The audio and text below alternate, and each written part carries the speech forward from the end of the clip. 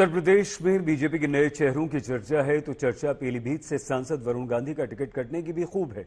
अब आपको बता दें कि बीजेपी वरुण गांधी का टिकट काटकर जतिन प्रसाद को अपना उम्मीदवार घोषित कर चुकी है, जबकि मेनका गांधी को सुल्तानपुर से बीजेपी ने फिर से अपना उम्मीदवार बना दिया है। वरुण गांधी को इस बात का अंदाज़ा पहले से था, कहा जा रहा है कि वरुण गांधी पीलीभीत से निर्दलीय चुनाव लड़ सकते हैं, लेकिन प्रश्न ये कि आखिर वो कौन सा कारण है जिसके चलते वरुण को बीजेपी ने टिकट नहीं दिया? तो आइए हमारी इस स्पेशल रिपोर्ट में जानिए।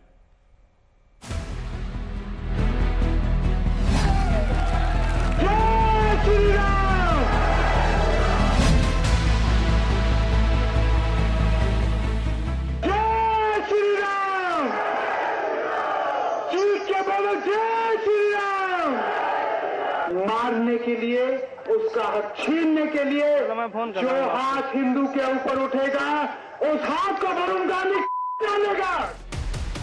जिस पीलीभीत में वरुण गांधी ने कभी यह बयान देकर अपनी छवि बीजेपी के फायर ब्रांड नेता की बनाई थी उसी पीलीभीत से वरुण गांधी का बीजेपी ने अब टिकट काट दिया है।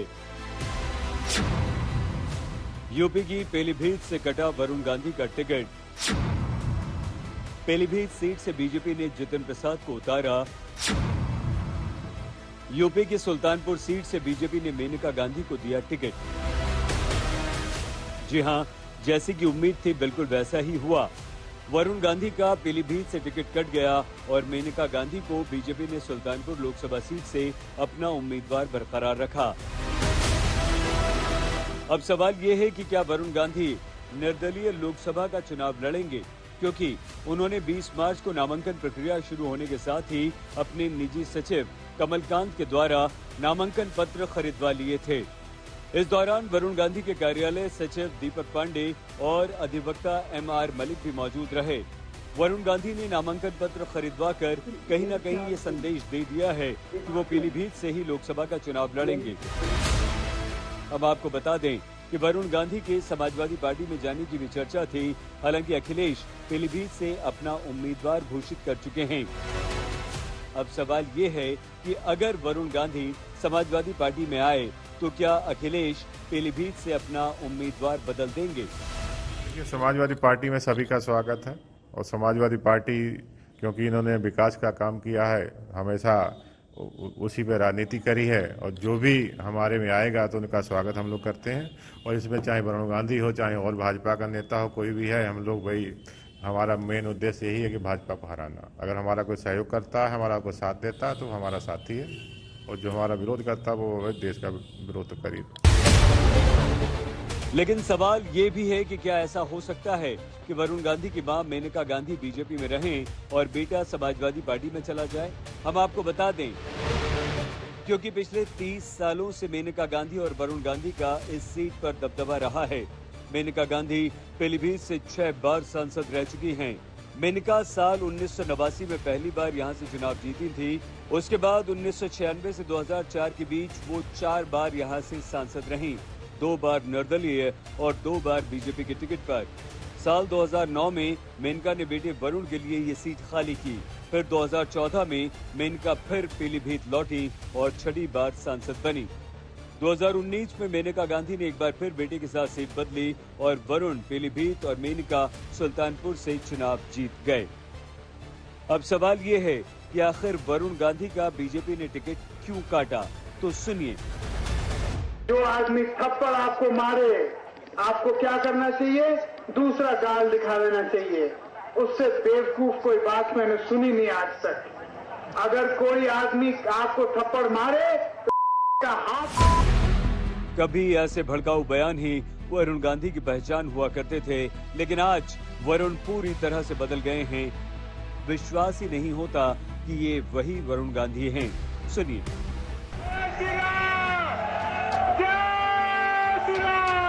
पीटने के लिए मारने के लिए उसका हक छीनने के लिए जो हाथ हिंदू के ऊपर उठेगा उस हाथ को वरुण गांधी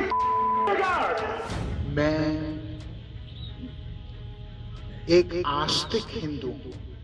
मैं एकादशी पे व्रत रखता हूँ।